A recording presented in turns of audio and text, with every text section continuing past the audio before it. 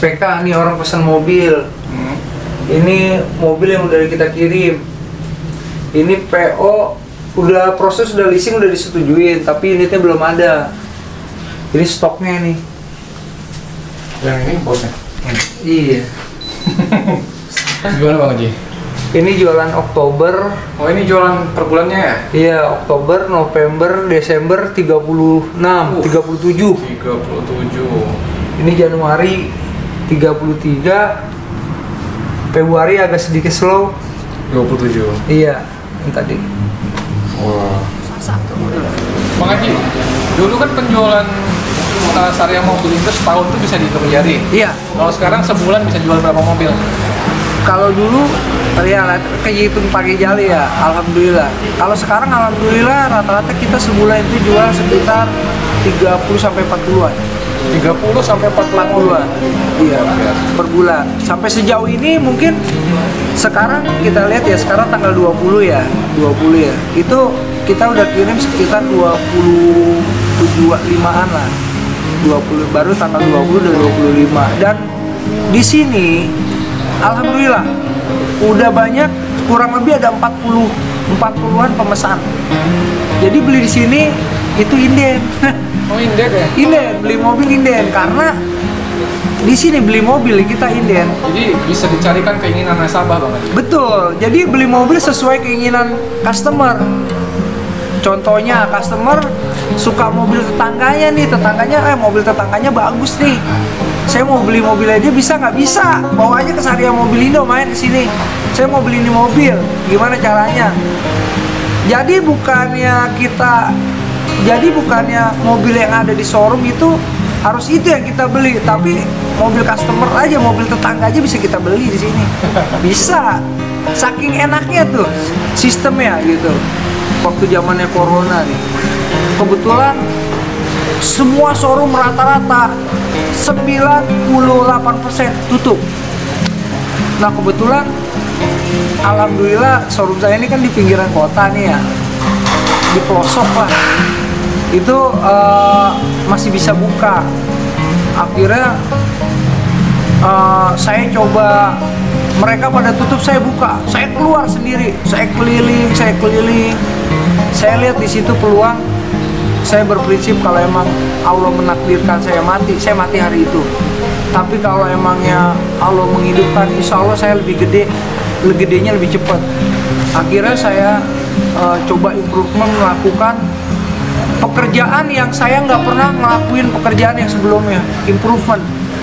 Karena kalau saya ngelakuin dengan cara yang sama di saat lagi kegagalan saya akan dapat timbulnya yang sama. Tapi kalau saya melakukan pekerjaan yang beda caranya maka hasilnya pun akan beda. Akhirnya saya coba uh, jual mobil rugi. Waktu itu mobil saya rugi tuh. Jual mobil waktu zamannya corona satu mobil tuh saya jual rugi ada yang 25 juta 20 jutaan 15 juta satu unit. Tapi saya jual mobil itu rugi tapi saya beli mobil murah. Saya beli lagi saya dapat untung dari mobil baru kita subsidi. Subsidi saya melakukan cara yang berbeda. Saya rugi yang penting kebetulan saya pakai alhamdulillah saya di ada salah satu orang yang baik sama saya. Dia membiayain membantu saya Eh, waktu saya rugi saya eh, yang penting ini customer investor saya pokoknya untung. Minimal dapat lebihan lah walaupun nggak sesuai dengan apa yang perjanjian di awal. Tapi kan bertahan itu lebih baik daripada kita tumbang. Gitu. Akhirnya itu terus berjalan sampai eh, sampai suatu saat ya sampai alhamdulillah tuh kita ketemu investor dari luar dan ketemu main YouTube tuh. Main YouTube dari situlah awal mulanya muasal sari syariah mobilindo syiar. Jadi dari konten-konten YouTube banyak orang ngeliat akhirnya mereka yang banyak yang interest. Nah setelah interest mereka baru percaya kita. Pada dasarnya gini di saat kita sudah sedang terpuruk kita jangan cepat putus asa. Kita segera bermulia aja sama Allah subhanahu kita minta udah taubat deh. Pokoknya kita rajin-rajin dah. Pertama ya ibadahnya kita rapihi. Kemudian sedekahnya sunah-sunahnya kita jalanin. Nah insya Allah kita udah ngelakuin gitu kita usaha kita keluar. Biar Allah yang menggerakkan kita. Apa maunya kita ya kita usaha terus. Nanti kadang-kadang begini ya kita ngalamin yang namanya aduh kok Allah nggak adil banget sih ya? Ngasihnya begini ngasihnya begini. Kadang-kadang gini kita mikirin ini buruk menurut kita tapi kadang-kadang menurut Allah itu baik. Gitu itu kadang-kadang kita suka berprasangka. Itu saya sering banget mengalami kayak gitu. Ya pokoknya insya Allah istiqomah lah. Pokoknya terus usaha kerja keras harus berani mencoba hal-hal yang baru. Jangan takut salah walaupun itu rugi. Gitu pokoknya terus gas terus. Ntar masalahnya salah kadang-kadang gini. Kadang-kadang di dalam kesalahan kita itu kadang-kadang banyak peluang yang sebenarnya cuannya itu lebih gede. Lebih gede. Yang banyak orang ah bedanya gini. Sorry nih mohon maaf nih kadang-kadang di showroom. Ini minusnya showroom ya? Ya saya juga ngakuin. Di saat ada masalah banyak ada masalah dia kabur sama customer. Tapi kalau di Saria Mobilindo begitu ada masalah insya Allah dibantuin. Syukur-syukur dia dapat value lebih di dalam masalahnya itu. Percayaan. kepercayaan. Contoh dia misalnya lagi ada masalah tiba-tiba mobilnya mau dijual. Kan dia juga kalau seandainya dia tidak mengenal Saria Mobilindo itu kan akan hangus uangnya. Nggak dapat apa-apa. Tapi kalau dia main ke Saria Mobilindo syukur-syukur dia namanya bagus dapat duit. Buat usaha buat ini buat itu banyak. Intinya semangat terus. Jangan mudah eh, putus asa. Jualan soto tuh gimana ceritanya bang? Wah, jadi seru banget nih. Alhamdulillah makin ke sini kan syariah udah mulai banyak. Akhirnya ada salah satu WTS warga tetangga sebelah. Jadi dia jualan soto. Dia jualan soto, sotonya karena orang yang udah tua, akhirnya sotonya mau ditutup. Udah kata saya janganlah, jangan ditutup. Udah tetap. Ya udah daripada saya tutup, jual aja deh ke Bang Haji, Bang Haji mau nggak? Ya udah akhirnya saya lakonin lah. Saya lakonin, nggak lama kemudian warga saya banyak sakit-sakitan. kayaknya waduh ini kayaknya jualan makanan kuliner kok begini gitu sampai seperti inilah. Akhirnya alhamdulillah kodarullah sotonya itu saya tutup saya jadiin kantor syariah sekarang ya alhamdulillah semenjak itu syariah jadi terus uh, improvement ya artinya banyak improvement dan berkembang sampai sejauh saat ini. Sekarang udah berapa karyawan Syariah Mobil itu? Kurang lebih 15 15. kurang lebih. Tapi kalau ditotal-totalin sebenarnya karena di sini kita bukan kerja jadi Superman ya. Saya bukan kerja jadi Superman tapi super tim jadi semua banyak orang yang tanpa kita ajak bekerja mereka ikut gabung.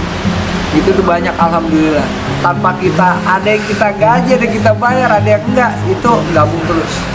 Alhamdulillah. Nabung apa bang? Nabung satu komisi satu aplikasi gue suruh nabung dia satu juta. Nanti kalau sudah enam bulan dia jadiin dia, dia, nanti gue jadiin jadi investor. Oh gitu. Jadi Iya, dia jadi dia kerja- mobil juga. iya. Karena kan di sini sekolahnya entrepreneur di sini jadi siapa pun bisa jadi Diajar, diajarin jadi entrepreneur. semua semua di sini. Nggak siapa-siapa. Contohnya kayak sales gua. Sales gua di sini tuh eh, misalkan dia gajinya rata-rata sekitar dua digit ya. Dia harus ngabisin maksimal itu 25% dari pendapatannya dia.